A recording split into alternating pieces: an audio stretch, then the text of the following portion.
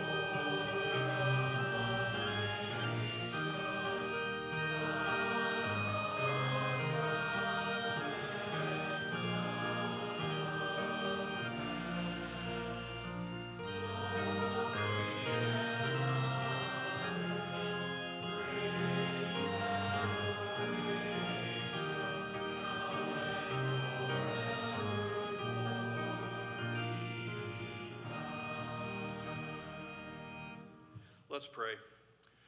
Father, when we take the time to really focus on our Lord and Savior, your blessed Son, whom you sent to, to us, our mind shrinks at it, really, um, to think about all of the things that he, through him you created. And uh, the, he sustains all of this, and one day he's coming back, and he is the ruler uh, ultimately of all nations, and every knee is going to bow uh, before him. And so often we think of this, this gentle, peaceful uh, man who, who was God, who walked 2,000 years ago in the Middle East, and we, we can't comprehend everything he is beyond that. But songs like this help us to focus on that. I pray that you would help us to always see his magnificence more clearly as we draw nearer and nearer to that time to be with him in eternity. We also want to lift up to you tonight, Brian, and just ask for you to bless him with the word that he brings to us. We all know that it's, uh, it's difficult for those of us who don't uh, routinely bring the word to do that kind of thing, but Lord, you have a message for your people through him. And I pray that you'll give him your peace and calmness, and by your Spirit, help him to give us the message that, uh, that we've come here to hear this evening. Bless our time now, and we ask it all in Christ Jesus' name. Amen. You may be seated. Our next hymn this evening will be number 484. 484, who is on the Lord's side?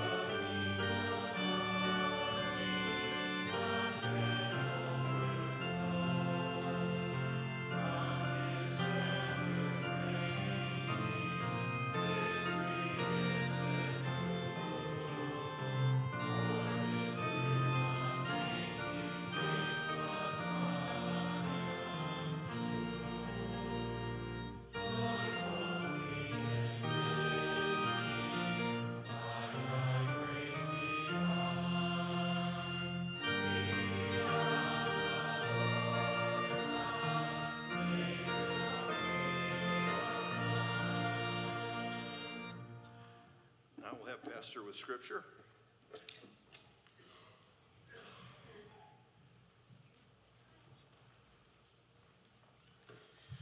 For our scripture reading tonight, would you please turn in your Bibles to Leviticus chapter 3. Once again, working our way through the different offerings prescribed for the nation of Israel under the Mosaic covenant. And tonight we'll be reading about laws for the peace offerings.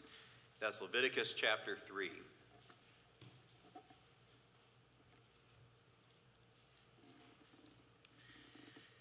If his offering is a sacrifice of peace offering, if he offers an animal from the herd, male or female, he shall offer it without blemish before the Lord.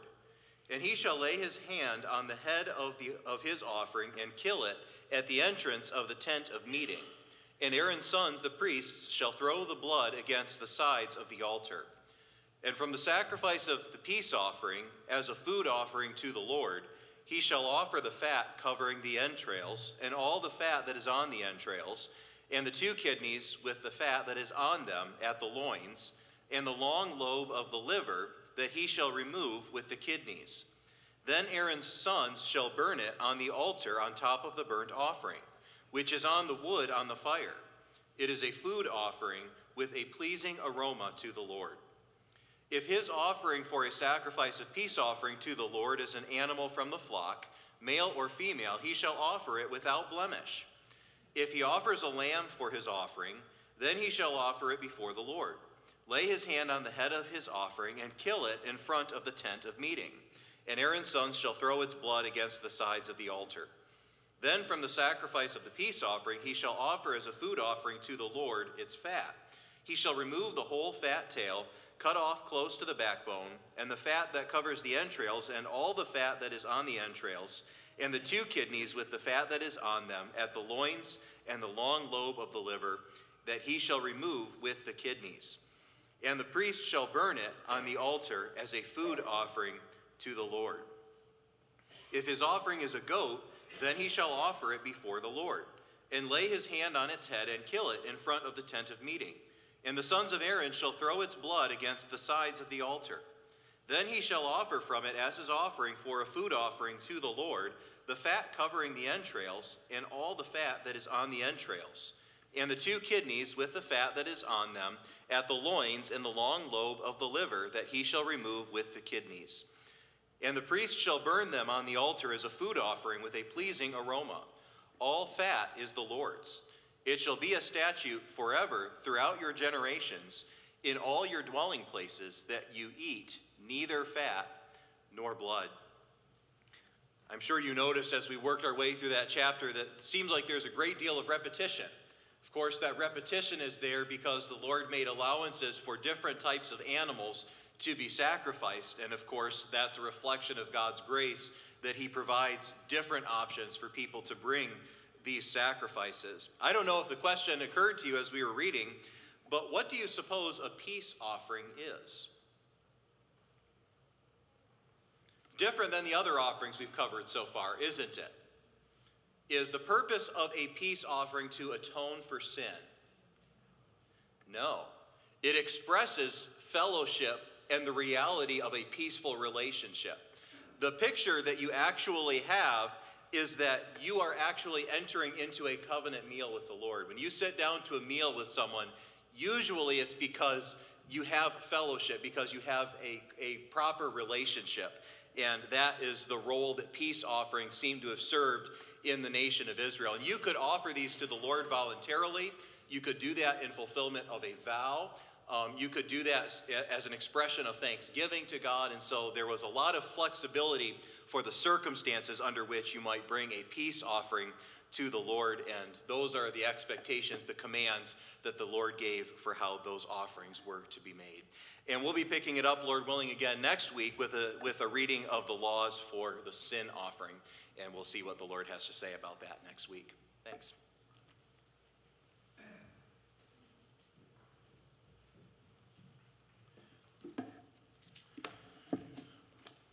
For our last song this evening, before Brian brings the message, it will be 512. 512, My Savior's Love. I'll invite you again, once uh, again, if you're able to stand, please stand with me.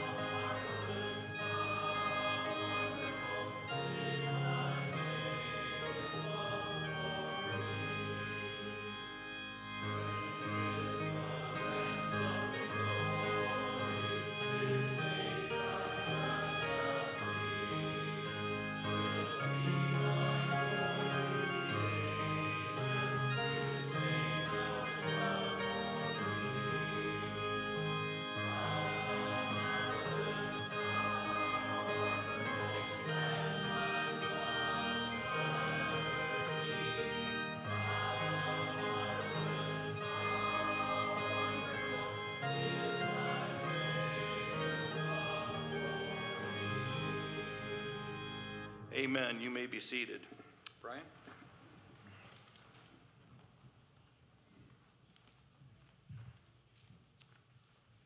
Good evening. How wonderful our Savior's love for us, right? How marvelous his love for us. Uh, tonight we're going to be in two different passages. We're going to be in Acts 26. And if you want to hold, once in a while, we'll be moving from Acts 26 to Ephesians. Uh, before we start, to calm my nerves, I need to have a word of prayer, and then we'll get started. Heavenly Father, we thank you tonight for your wonderful love for us, how you came to us and you rescued us. You showed your love to us when we didn't deserve it. We pray tonight as the word of God goes out, Father, that your word would be impactful on the hearts of those who hear it. May Jesus Christ and him alone be glorified and honored and lifted up in whose name I pray. Amen. On November 27th, 1973, 50 years ago, the most fantastic thing, I think the biggest, the, best thing that ever happened to me in my life, and I've had a lot of good things happen to me in my life. I have a great wife. I've got a great family. I've had a great job. I've had a great church. But the greatest thing that ever happened to me happened to me 50 years ago in November. You can hardly tell. Man, I, I look like I'm like 40, but it, but 50 years ago, November 27th, I went to church for the first time. I had never been to church in my life that I could remember. My mother and dad, when we were younger, we were Lutherans, and when I was a small child, I was baptized as a Lutheran, but I don't remember any of that. But on November 27th of 1973, I was asked to go to church I had never gone to church before, totally out of my realm. I was a teenager who was very unruly, probably, if you ask my mother. she could tell you horror stories. But that night, I heard the gospel. I had never heard the gospel before. And I was impacted by the gospel. Now, I didn't jump out of my seat, run down front, fall on my face, and ask forgiveness. I was scared to death because I didn't know what to do because they wanted you to come down forward, but I had never been there, so I was totally out of my realm, so I wasn't sure what to do. So I went home. That's all I thought about. What I had heard, what I had seen. And so they were having special meetings, and there was a a gentleman preaching there. His name was Ding Tooling. You know, some things you can remember, you can't remember to save your life. But I remember that day like it was the back of my hand. I went home that night. I, I lay there thinking about what I had seen. The guy had drawn a picture of what the second coming would look like, and I was so impacted. And I was, I can't say that I was scared, but I knew I was lost. I, I figured that out, that I didn't know what he was telling me I needed to know. So I went to school the next day, and then I asked uh, Terry Cappan, who had asked me to go to church with him, I asked him if I could go again. So I went, and where the law off, where the court offices are now, the old Baptist church used to sit there, and that's where, I, where the church was. And I can still remember before the service, before the service even started, I asked Terry's mother if she would lead me to Christ. So she took me back into the back office, Pastor Hausman's office. I can still remember getting on my knees, and I can still remember asking Jesus to be my Savior. The greatest day of my life. Tonight, I want to ask you all what is your story? You know, we all have a story, don't we? If we've trusted Jesus Christ as our Savior, we all have a story and it's worth telling. We all have a testimony of how God brought us to Himself. I don't care if you're 10 years old, 13 years old, 80 years old, 60, 65 years old, we all have a story. We all have a time when Jesus Christ broke into our life. And it's worth telling. We also have a testimony after we get saved of all the great things that God has done in our lives. Think about all the great things that God has done in your life. And most of the time, we don't even expect it to happen, He just does it. How can we use our testimonies? Well, salvation is a miraculous story. It's a miracle. Salvation is a miracle. And we can use that story to tell those that don't know Jesus Christ how wonderful and how marvelous Jesus' love is. We can share our stories to edify one another. I was talking with a lady from our church, who I won't name, but I was asking her her story one day, and she told me her story. I was so impacted by that. I didn't know anything. You know, I had known the lady for a long time since I'd been here, but I had never asked her how she came to Christ. And she told me, and it was a miracle how she came to Christ. And it was so edifying and so, it just filled me with joy to see how God had worked in a miraculous way in her life. Should we ever be ashamed of our story? Paul was not ashamed. Romans 1:16 says, "For I am not ashamed of the gospel, for it is the power of God unto salvation." It's the power of God unto salvation. We should not be ashamed of our story. How God, through his power, brought, him to, brought us to himself. Tonight, I would like to share with you three things that we have in common with Paul and with Paul's testimony when it comes to our salvation story. And then, if we have time, which I'm pretty sure we will, uh, Paul also gives us four ways on how to maintain our testimony so that it can be powerful and that he can use it to win others to Christ. Acts 26. We're going to be at Acts 26, and we're going to start at verse 9. But before we get there, let me kind of give you some background of where we're at here. Paul, everybody knows who Paul is, the apostle.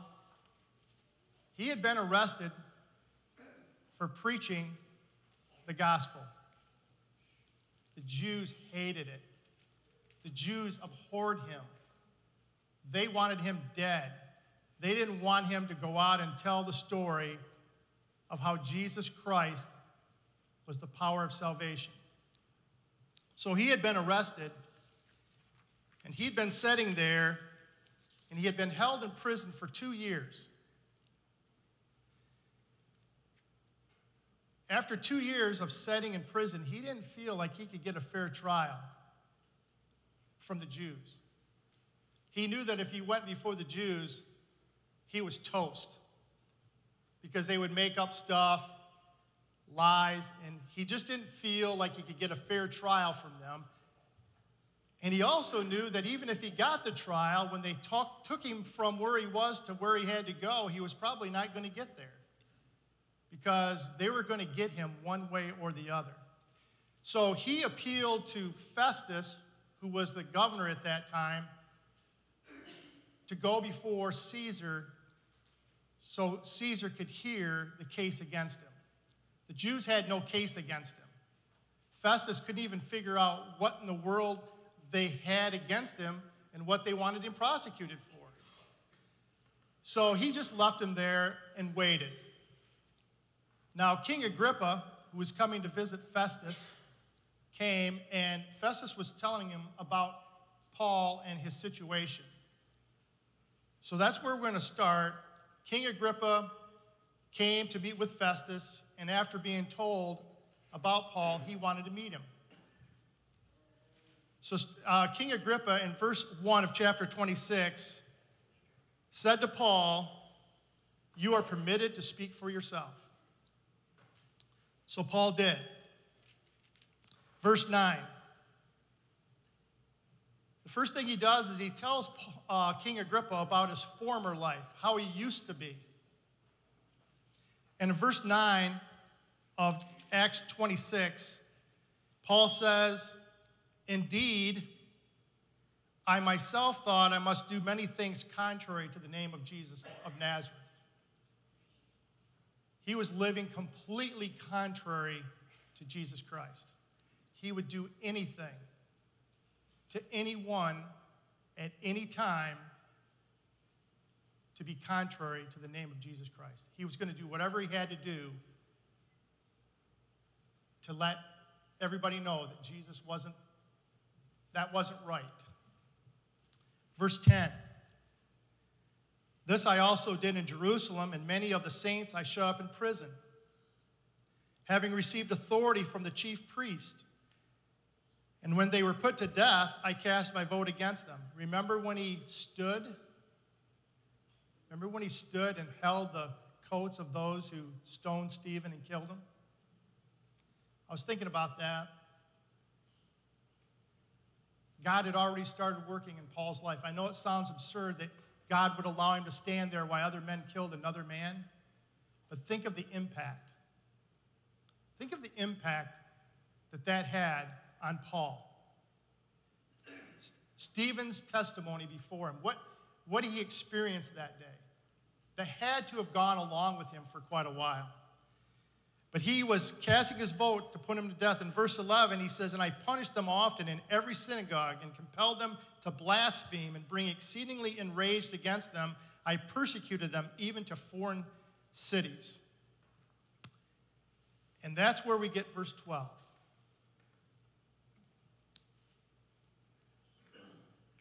And I want you to think for yourself what was your life like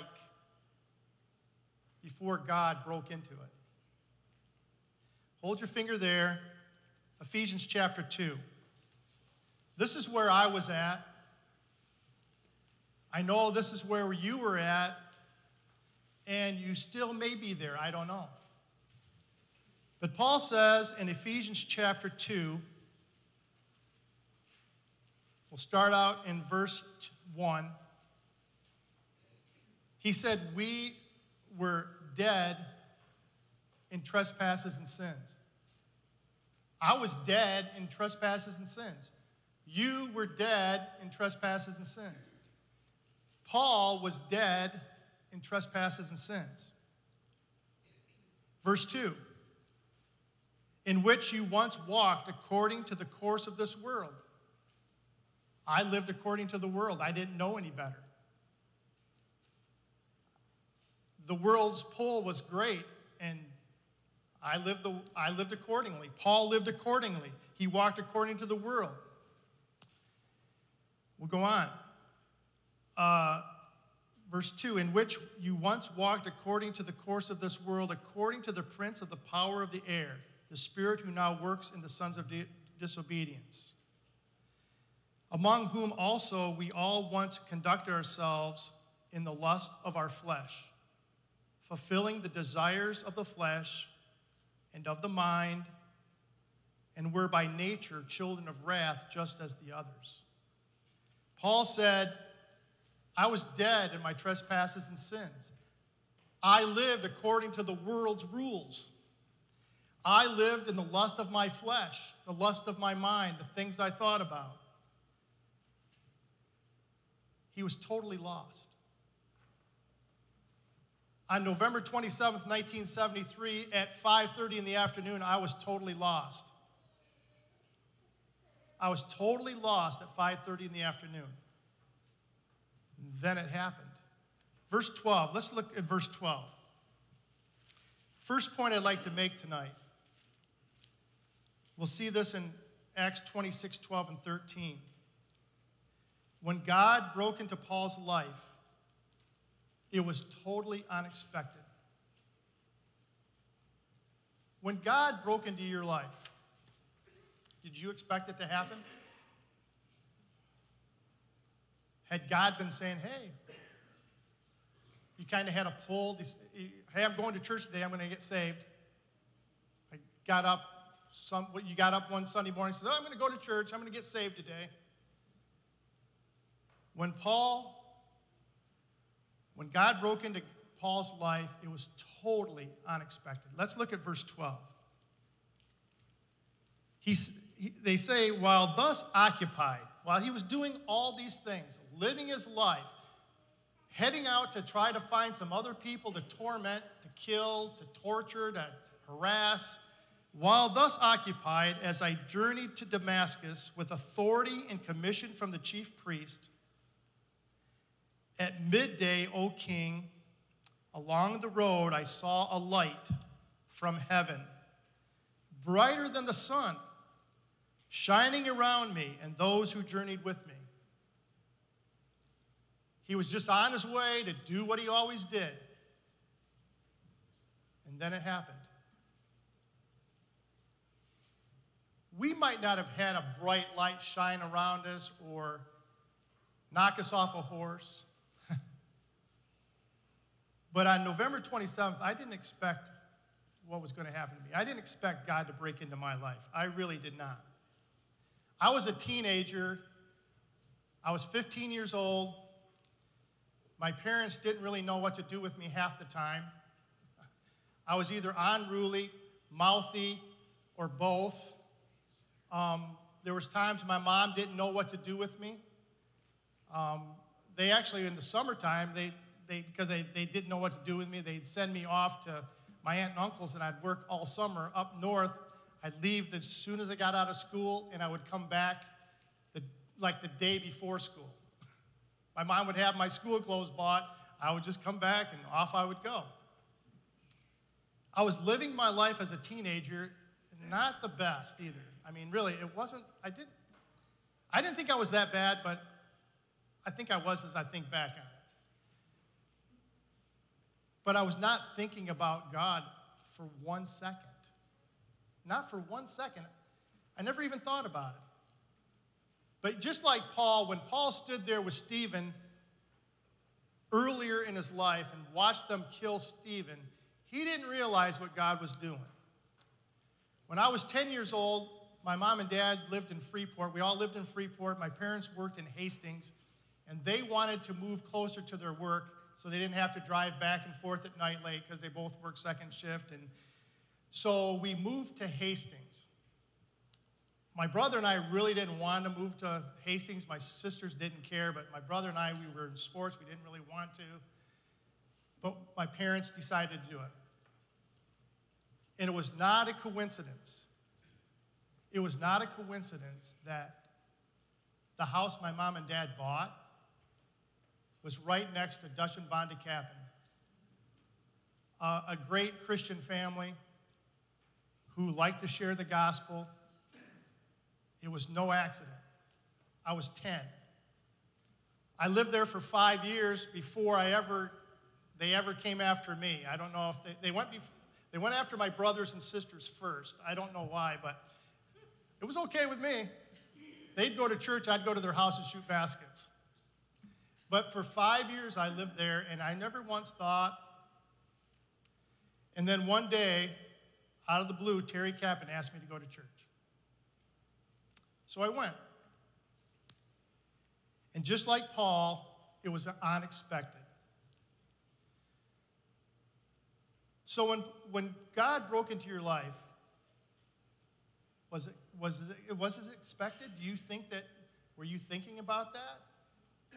Paul wasn't. He was just living his life. The second thing, when God broke into Paul's life, it was a miracle. It was a miracle. Let's go on. Verse 14. And when we had all fallen to the ground, I heard a voice speaking to me and saying in the Hebrew language, Saul, Saul, why are you persecuting me? It is hard for you to kick against the goads. You're fighting a battle you cannot win. Verse 15. So I said, Who are you, Lord? And he said, I am Jesus, whom you are persecuting. When God broke into my life, when he broke into your life, it was a miracle. I don't care if you're four years old and you ask your mommy and daddy if you can be saved, or if you're 15 years old and you go to church and get saved, or you're older and you get saved. It's a miracle. Jesus Christ broke into your life, and the Spirit of God pulls you. You can't help it. You can't help it. You, there's something inside you that just pulls you. It's just like when I got saved that night, I couldn't hardly sleep the whole night before. And I went to school, and that's all I thought about. But the Spirit of God was pulling me and dragging me to Himself. It was a miracle. It wasn't some event that just haphazardly happened. In Paul's life, his salvation story was a miracle. Jesus Christ broke into his life and he, and he knew it. He called him Lord. He knew exactly what was going on. I look at my life, and when God confronted me, it's a miracle. we weren't churchgoers. I mean, I never went to church. I knew nothing about God. I knew nothing about God. And I can't say that I wanted to at that point. And then he came and he offered me grace. Let's look back at Ephesians real quick. Two verses that two verses that we all know really well. Paul says in Ephesians chapter 2 and verse 8, he says, For by grace you have been saved through faith, and that not of yourselves. It had nothing to do with me, it was all God. When God broke into your life, it had nothing to do with you. It was all God. It was His grace, His wonderful grace, His precious grace. It's a gift, not of works, lest anyone should boast. Your story is also a miracle, just like mine, just like Paul's. Your story is a miracle. So, number one, when God broke into Paul's life, into our lives, it was unexpected. Number two, when God broke into Paul's life and our life, it was a miracle. Number three, when God broke into Paul's life, his life was changed forever. It was never the same again. Let's look at um, verse 16 of Acts chapter 26. I'm going to go back and read verse 15 and then we'll go on. But so I said, Who are you, Lord? And he said, I am Jesus whom you are persecuting. But rise, and Jesus said it, but rise and stand on your feet. For I have appeared to you for this purpose, to make you a minister and witness both of the things which you have seen and of the things which I will yet reveal to you. I will deliver you from the Jewish people as well as from the Gentiles, to whom I now send you, to open their eyes, in order to turn them from darkness to light, and from the power of Satan to God, that they may receive forgiveness of sins and an inheritance among those who are sanctified by faith in me. Paul had an experience that day that changed his life. Jesus Christ broke into his life, and his life was never the same again. How about yours? My life, it seems like, you know, it seems like it hasn't been 50 years ago. It really doesn't. But my life was never the same again. After November 27th, 1973, my life was never the same again. I didn't, all of a sudden, I wanted to go to church. I wanted to be with God's people. I wanted to learn God's word. I didn't understand I didn't understand it when I first started going. I didn't understand all of the church talk, you know, the things that we talk, how we talk. We have our church talk, and people come in and they don't always understand our church talk. I didn't understand any of that. But I, one thing I did know was that my life was different. There was something different. And my life has never been the same since.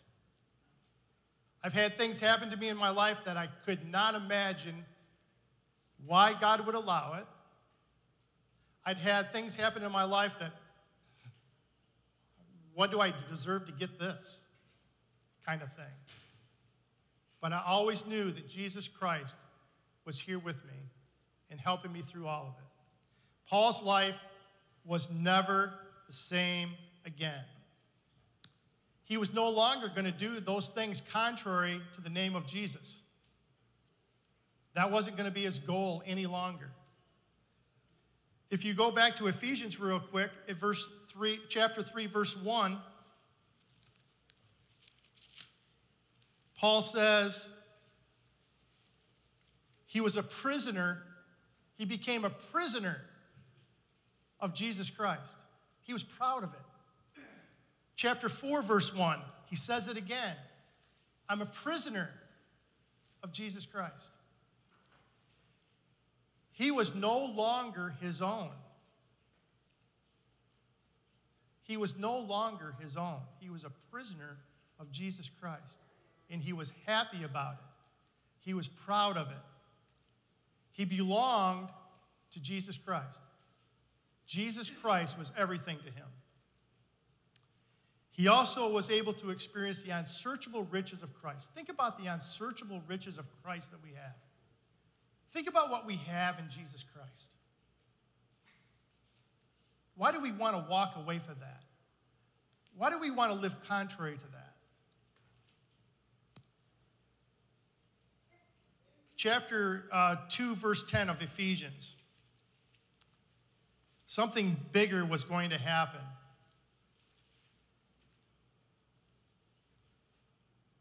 Chapter 2, verse 8 says, For by grace you have been saved through faith, that not of yourselves, it is a gift of God, not of works, lest any man should boast. I can't boast of what Jesus did for me. I had nothing to do with it. You had nothing to do with it. Jesus did it all. He came.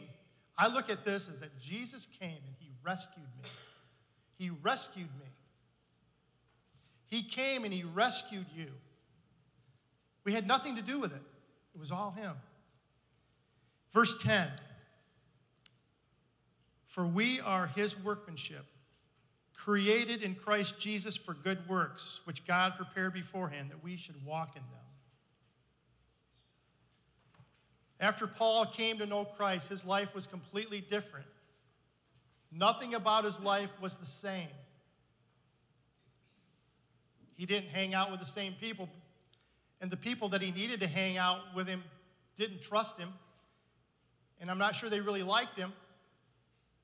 He was kind of caught. He never, he no longer wanted to live by the world, by his own lust. He didn't want to do any of that. Jesus told us that we as believers in Jesus Christ need to be light and we need to be salt. And we need to walk different than the world so we have a story that we can share with them. There's a way that God wants us to walk. There's a way that God wants us to talk. When Paul came to Christ, his life was changed, and his desire was for Christ to be everything. He was going to be a prisoner. He was going to do exactly what God wanted him to do when God wanted him to do it, no matter what the cost was. And it was a big cost to Paul. Every day was a big cost to him. He wanted to live in a way that glorified the Lord Jesus Christ and him alone. He wanted to keep his testimony so when he sat before men like King Agrippa, King Agrippa couldn't stand there and say, Well, Paul, that's that, that's not really what we see in your life. That's really not what, what you're saying isn't how you live. What you say is what, not what you do. So in Ephesians, Paul shares four ways that we can keep our testimony strong. And we'll just, we'll just touch on them briefly. Number one, Ephesians 4, verse 1. Ephesians chapter 4, verse 1. Paul says, I, therefore, the prisoner of the Lord, beg you, beseech you, beg you to walk worthy of the calling with which you were called.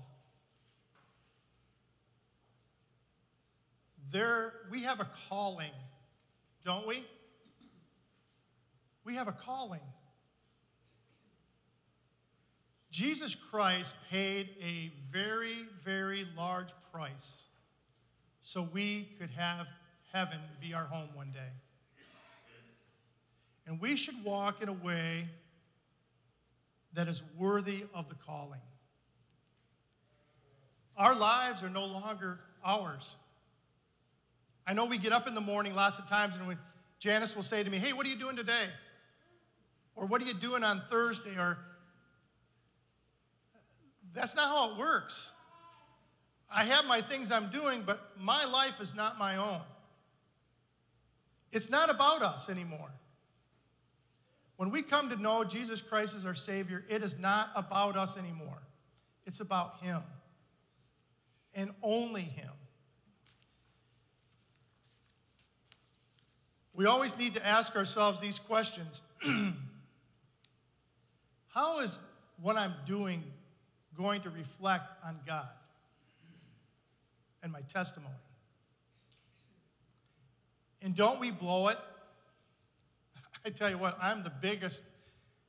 I blow it so bad.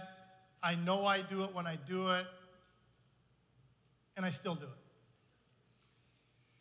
Another question is this going to bring glory and honor to Jesus Christ? Anybody that knows me, anybody that hangs out with me enough, know, knows that I blow it and have blown it.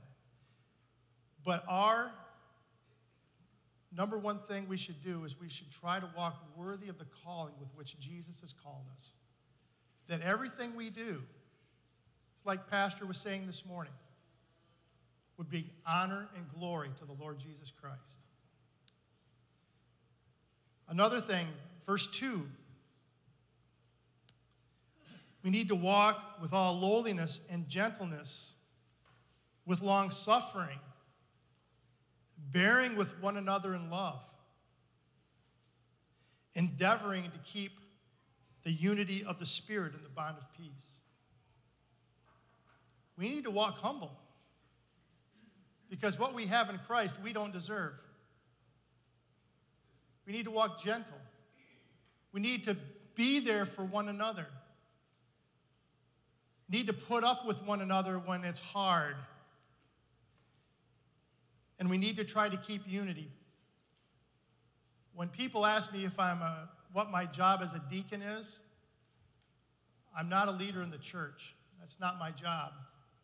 I always tell them my job as a deacon is to encourage my pastors, be there for my pastors, and to keep unity in the church.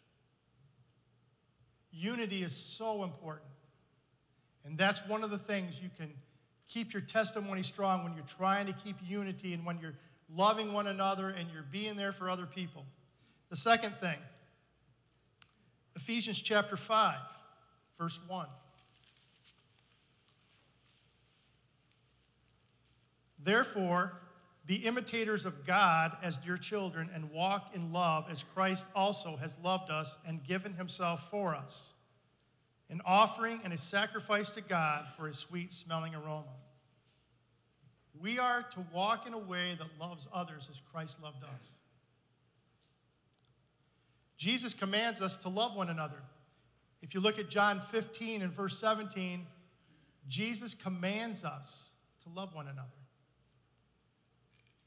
We need to pray for one another. We need to care for one another. We need to build each other up.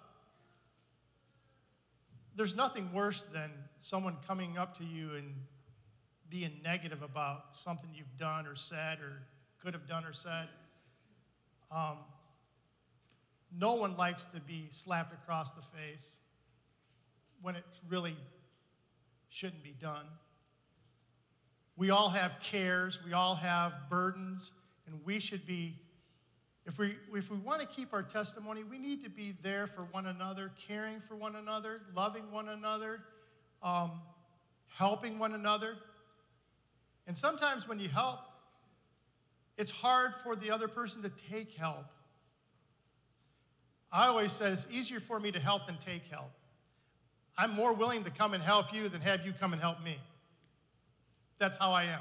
That's how most of us are. But we're supposed to love as Christ loved us. So, number one, walk worthy of the calling. Number two, walk in love. Number three, Ephesians chapter 5, verse 8. We need to walk in light.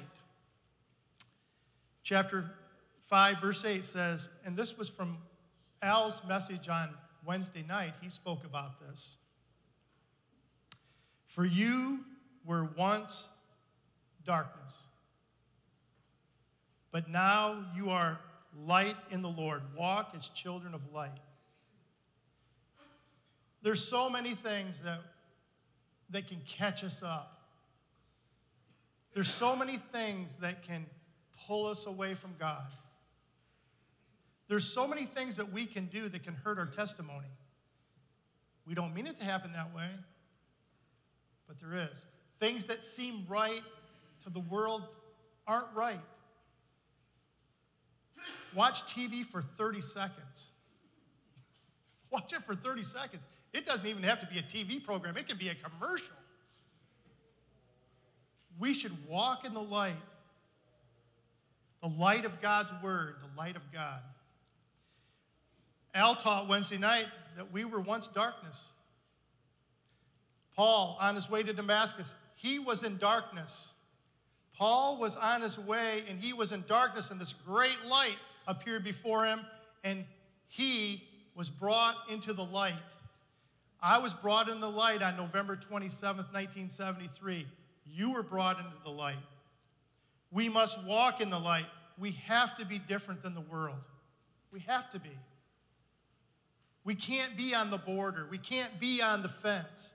We have to walk according to God's word, no matter what the cost is. Lastly, we need to walk um, worthy of the calling. We need to walk in love. We need to walk in light. And lastly, Ephesians 5:15, we need to walk in wisdom.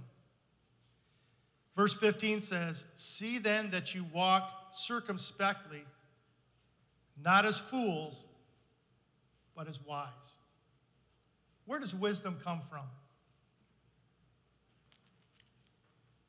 This from God, from God's word.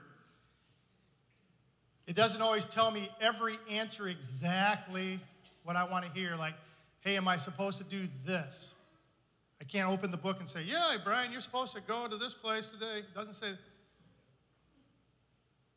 But it gives you wisdom to know what's right and wrong, what's, what you should do, what you shouldn't do, and how God leads us. God's word is a lamp to my feet.